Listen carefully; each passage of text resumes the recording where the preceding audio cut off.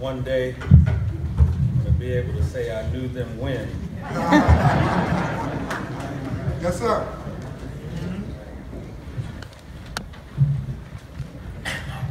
To the president of the Interdenominational Ministerial Alliance, President Sanders, host, opening up your doors, Pastor Cabot, members of IMA, city officials, denominational and faith-based leaders, churches that I've represented, brothers, sisters in Christ, citizens of my hometown, Omaha, Nebraska, good evening. Good evening. Yes, sir. Yes, sir. My name is Dwayne Hawkins. I'm the pastor of the Antioch Baptist Church, president of the New Era Baptist State Convention of Nebraska Incorporated. And it is my privilege and challenge to issue out a challenge to us on this evening. Certainly, in my estimation, there are many other clergy that um, perhaps may have been more qualified or well able to do this, but by God's grace, He's allowed me to share these next few minutes with you and to issue a challenge. Really speaks to the issue what do we do from here? Mm-hmm. We've heard history, historical account of the sinful, immoral, criminal, unjust, heinous act, the lynching of Will Brown. We've recited litanies. We've listened to scripture. We have allowed our leaders to pray intercession on our behalf. Yet the question still lies before us. Where do we go from here? Yes, sir. Yes. What is the challenge as we leave this place? Hmm. And I would submit to you today that a challenge is necessary. Yes, sir. Yes, sir. The, the occasion that brings us together is not complete without a challenge to lead us forward. Yes, sir. And, and I want to share a challenge uh, with you today, really kind of a threefold challenge. The first challenge is the challenge of confrontation. Challenge of confrontation. And I would suggest to you today that this challenge of confrontation starts out as a personal challenge. All right. You and I both could say, I wasn't there. Everybody in this room, if you're less than 100 years of age, has the opportunity to say, if I had been there, I would have did everything in my power to stop it. Problem with that is that you and I don't live in the past. Mm-hmm. We live in the present, while setting our sights on the future. Hmm. Yes, sir. And because of that, first challenge before us today is a challenge of confrontation. All right. And the reason why that's necessary is based on the fact that there might not ever be a lynching in the likes of the historical truths of this city. But sin, mm-hmm. immorality, Say what? criminality, social injustice is just as present mm-hmm. today yes, sir. Yes, sir. As it was a hundred years ago. Wow. Yes, sir. Yes, sir. And, and we have to, if we want to move forward, accept the challenge of confrontation. Mm-hmm. By challenge of confrontation, I'm simply referring to the willingness for us to see what's in our own hearts. Hmm. For some, racism is overt and obvious. It's easily seen from within as well as easily detected from the outside. Mm-hmm. Yet for others, mm-hmm. Sin, immorality, the criminality, the injustice of racism is covert. Mm-hmm. all right. Might be easily detected on the outside, but sin has a blinding effect upon us. Sometimes allows us not to see what's really there. Yeah. Mm. And if that's the case, we embark upon this challenge of confrontation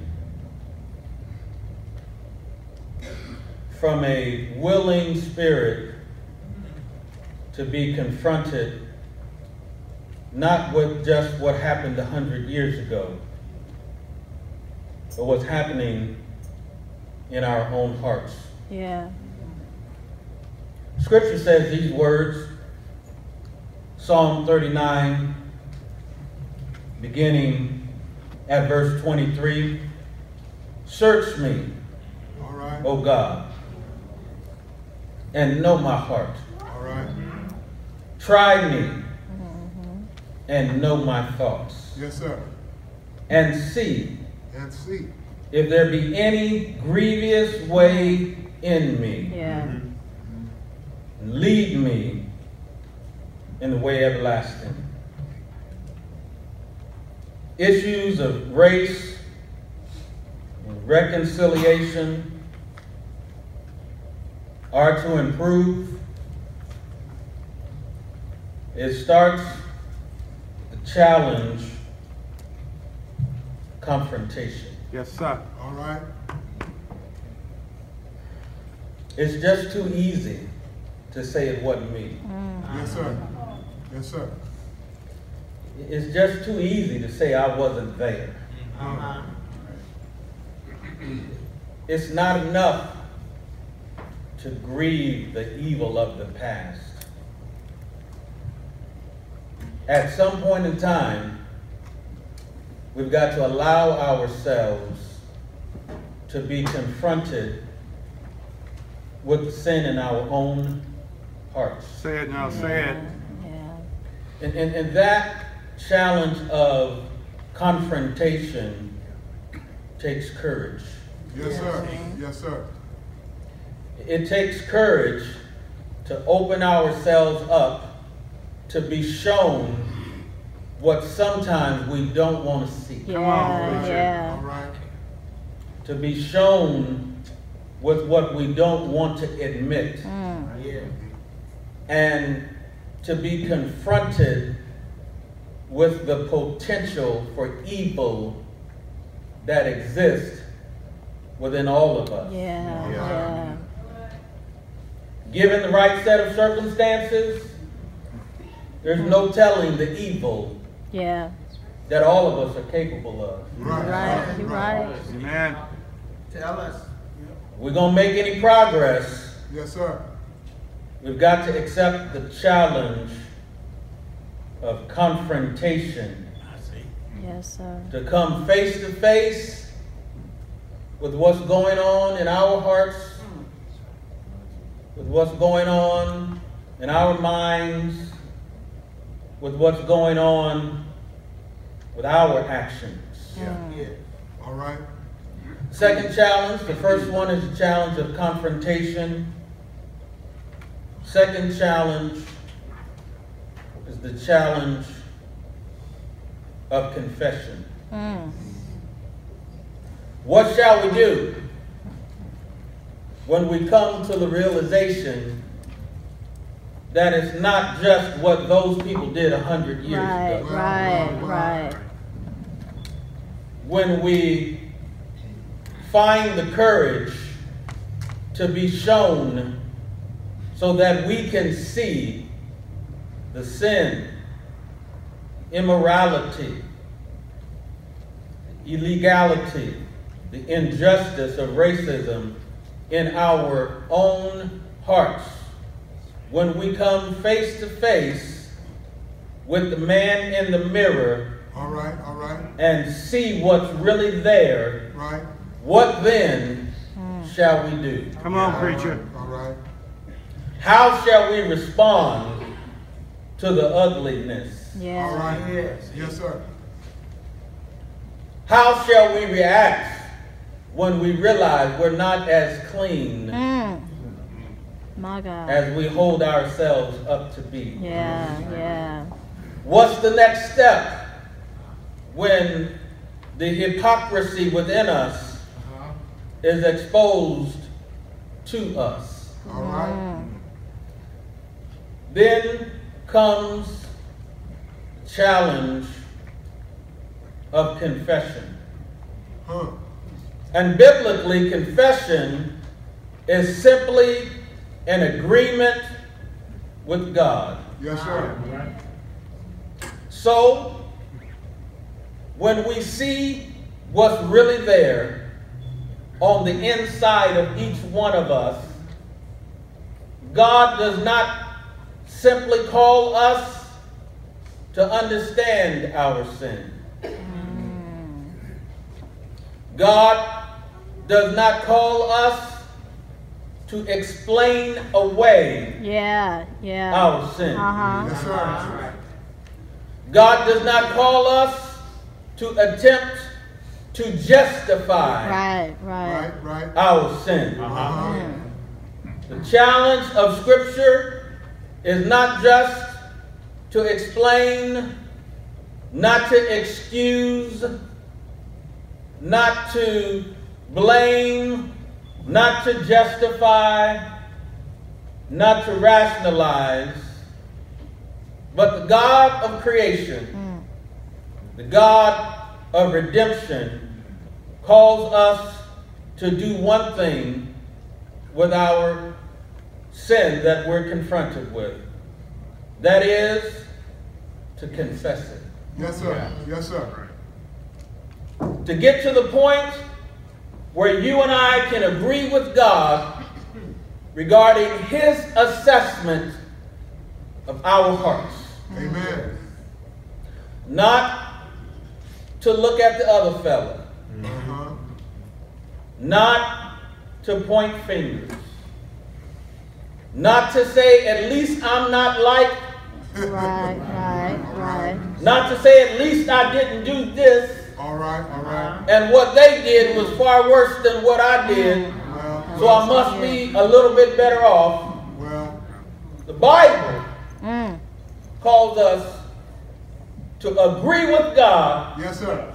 about His assessment of our hearts, Uh-huh. our minds, our actions. Yeah. Hear ye the word of the Lord today. right, all right, all right. First John chapter 1. Verse 6 says, If we say we have fellowship with him mm-hmm. Say it, say it. while we walk in darkness, we lie All right. and do not practice the truth. Well, But if we walk in the light, as he is in the light, Uh-huh. we have fellowship with one another. And the blood of Jesus, his son, cleanses us from all sin. Yes, sir. Yes, sir. If Yeah. we say we have no sin, mm, we deceive well, ourselves. yeah, yeah. And the truth is not in In us. us. That's it. If Yeah. we confess, agree with God Yes, sir.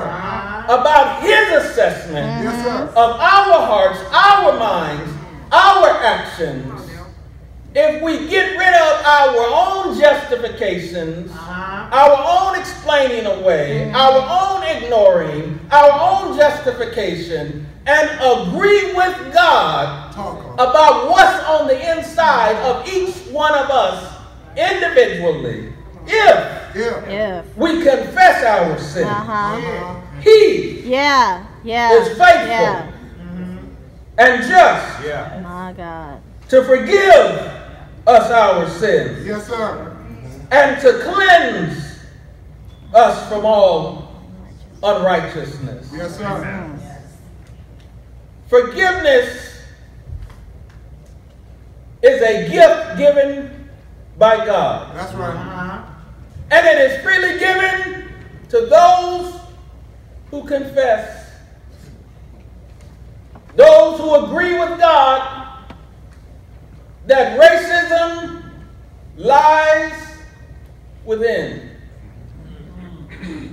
The challenge is first a challenge confrontation All right. So that we can see what's really there. All right. Second challenge is the challenge of confession. To turn to the one that knows all Uh-huh. and agree with his assessment of our lives. Right, right. And the third challenge, challenge of cleansing. Mm. The challenge of confrontation, the challenge confession, and then there's the challenge cleansing. All right. Will you allow God to change you? Yes.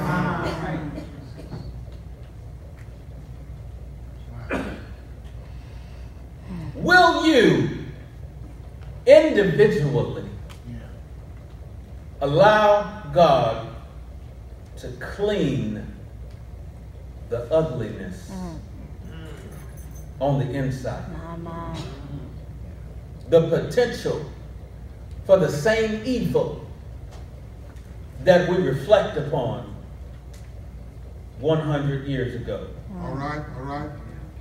The, the, challenge of cleansing is a passive challenge in that we don't do the cleansing, All right. All right. that we allow the Holy One, Uh-huh. the perfect one, Yes, sir. Yes, sir. the pure one, Yes, sir. to do for us what we cannot do Right. for ourselves. Come on, preacher. sir. Come on. Yes, sir. I submit to you today that only God can cleanse us Yeah. from the sin of racism. All Yes. right. Hear ye the word of the Lord. Psalm 51. Purge me hmm. with hyssop, and I shall be clean. Mm-hmm. Wash me, and I shall be whiter than snow. Mm-hmm. Let me hear joy and gladness. Let the bones that you have broken rejoice. Hide your face from my sins and blot out all my iniquities. Create in me Yes, sir. a clean heart, Yes, sir. Mm. O God, Yeah. and renew a right spirit within me. Mm-hmm. Cast me not away from your presence. Take not your Holy Spirit from me. Restore to me the joy of your salvation Yeah. and uphold me with a willing spirit. If we're going to move forward, if there is hope for a brighter tomorrow, mm-hmm.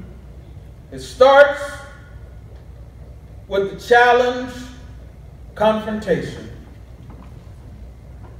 It leads to the challenge of confession Right. and then to accept challenge of cleansing. Yeah. If we accept the challenge, yeah. to allow God to show us what's really there, mm-hmm. agree with His assessment of our sinfulness, Yes, sir. Yes, sir. And allow Him to do the cleansing. If that takes place, Omaha, Mm. there is hope. Yes, sir. Yeah, yeah, yeah, yeah. And what we need is hope. All right. Talk. Not based in what we experience today. Right, right, right. Not based on what happened a hundred years ago. Right, right. But for the future. Uh-huh. Yeah, yeah. That one day we might experience with more of a sense of reality Uh-huh. the words of the Apostle Paul when he says these words in Ephesians chapter 2. Right. Therefore, remember that at one time you Gentiles in the flesh, called uncircumcision, by what is called circumcision, which was made in the flesh by hands, remember that you were at one time separated from Christ, alienated from the commonwealth of Israel, and strangers to the covenants of promise, having no hope and without God in the world. But now, Mm. In Christ Jesus, you who once were far off have been brought near by the blood of Christ. Yes. For he himself is our peace, mm-hmm. who has made us both one and has broken down in his flesh the dividing mm. wall of hostility by abolishing the law of commandments expressed in ordinances, that he might create in himself one new man mm. in place of the two, so making peace, mm. and might reconcile us both to God in one body through the cross. Yeah. thereby killing the hostility.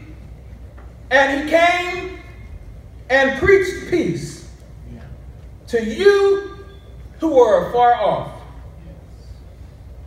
and peace to those who were near. For through him we both have access mm-hmm. in one spirit to the Father. So then, and I pray that we get to experience a taste of that on this side of glory. Amen. So then, So then, you are no longer strangers, Yeah. Yeah. aliens, Mm. but you are fellow citizens Mhm.